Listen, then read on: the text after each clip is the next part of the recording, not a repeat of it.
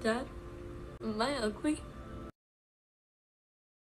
Nonsense. I'm looking at you right now. You're the most beautiful girl in the world. Baba, am I ugly? Very much.